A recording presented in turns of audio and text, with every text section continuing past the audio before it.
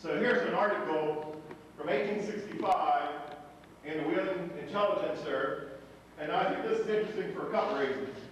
It's talking about the City Library Association and that all should be proud of it. Um, but I think this, the, the second paragraph is very interesting.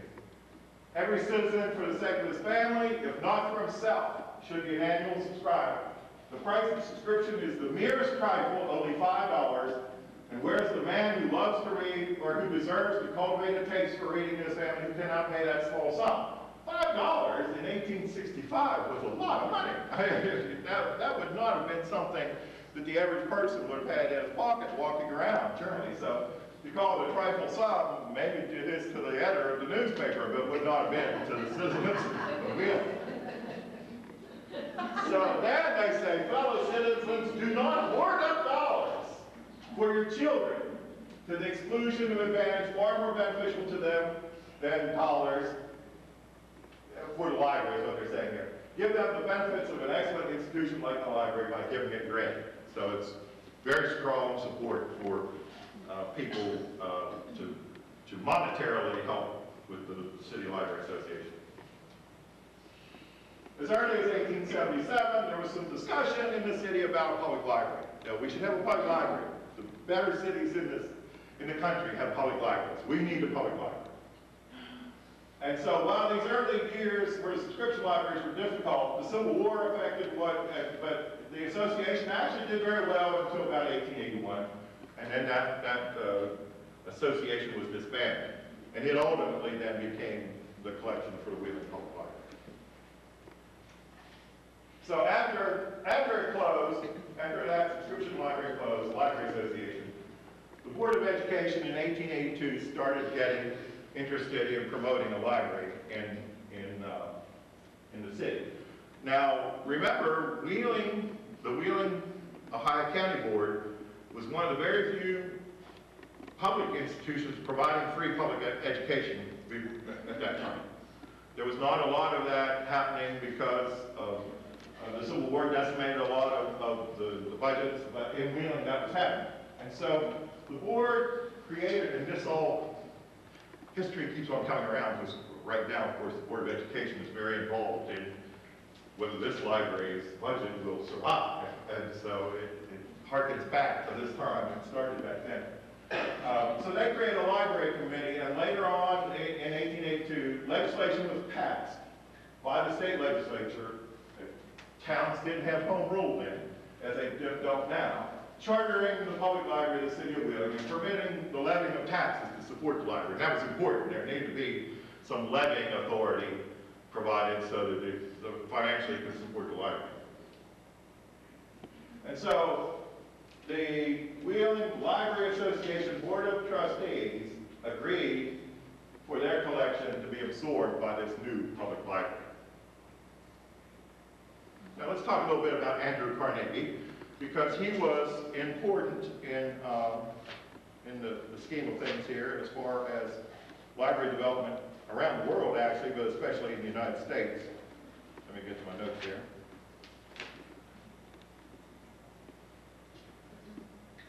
Carnegie, uh, if you, if you met the terms that Andrew Carnegie set out, which usually involve um, maintenance of every dollar and a proper he, he gave you what you asked for generally, unless the request was too large. There was no one ever turned down by Andrew Carnegie or his corporation um, for a library grant if they met all the, the conditions that he wanted to meet.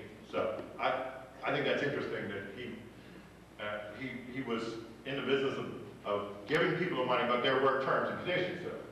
And in West Virginia, there were four, five, eight, one, two, three, four, five, six, seven, eight, nine.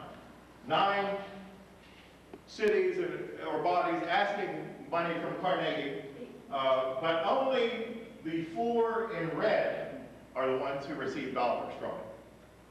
So the others did not.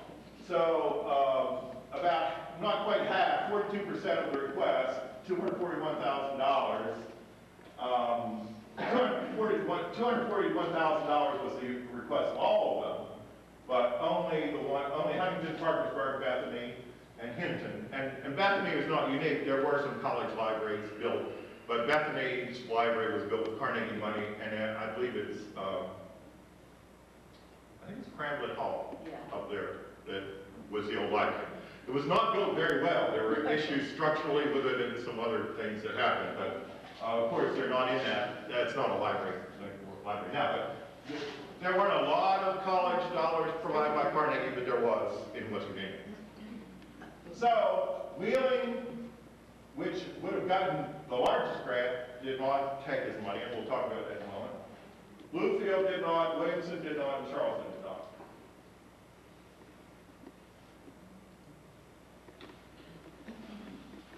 I know you can't see the text on this, but you can see the graphics. I think there was often controversy with Carnegie and his philanthropy because of his labor issues. And so, in this particular um, cartoon, you see him trying to give out libraries here when he's on the other side holding down the wages of his employees and has thumb down on his employees.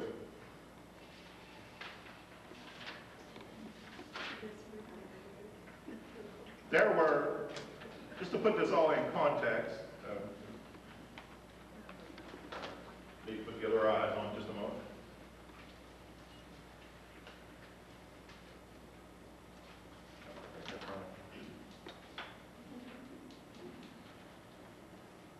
Old age.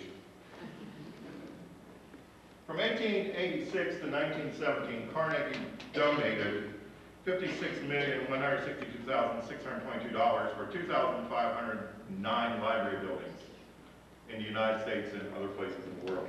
As I said before, no one who agreed to his terms was refused. But 225 communities did not follow through on his offer. So, um, in most cases, it was, it, there were, there were several cases, 56 cases that were unknown, there was not enough documentation for people to know why. But most, most of the other cases related to money, they couldn't raise the money, or they couldn't get a site, or they wanted more money. Uh, in, in 21 communities, the local vote defeated acceptance of the grant, and Wheeling was one of those communities.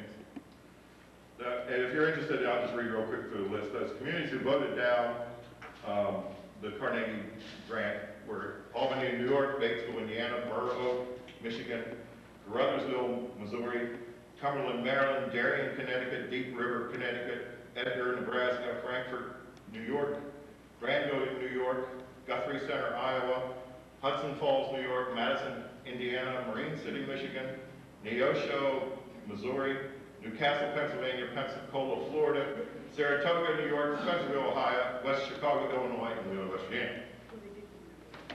So, there were instances where people said they didn't want just money or couldn't get money, but more often than not, if you met his conditions, which generally involved 10% maintenance of effort that you had to agree to, you had to agree to plans that they approved, because often these communities would want to build these huge monuments, big behemoths, and they just wouldn't approve that. Or in some instances, like in Charleston, you know, Charleston was a surprise, I think, to a lot of people. They wanted more money. They said, we need a bigger, more grander library, you should give us some more money, and Carnegie said no. There's another uh, cartoon where um, this relates to Detroit, where the taxes are so onerous on the citizens, but yet they're going to, there's Carnegie with his library, and, his, and the maintenance there would have been $100,000 a year, so you know that would have been significant. So there was opposition from time to time. There is a book up here, I brought some books up here on the Carnegie Library. Um, it's called Carnegie Denied, where they went through and um, looked at the instances where people did not get Carnegie dollars. This, this has an interesting connection. When I was doing my historical research, it was around that time that Wayne Wiegand, uh, who was, who's a library historian, and at that time I think he was in Kentucky, was doing some research. And they came across an article that was written about this by David Javersak. Most of you know Dr. Javersak. And David Javersak's article was the idea behind looking at this. when they started reading his article and, and saw that there, in Wheeling with labor opposition, which we'll talk about in a moment, were there are other instances where that happened, so that's how this book came. But the definitive book on Carnegie Libraries is this one here by Bobinski, who details all the grants, who got them, how much. But So if you're dying to know Carnegie stuff, the others are coffee table type books, so, all right.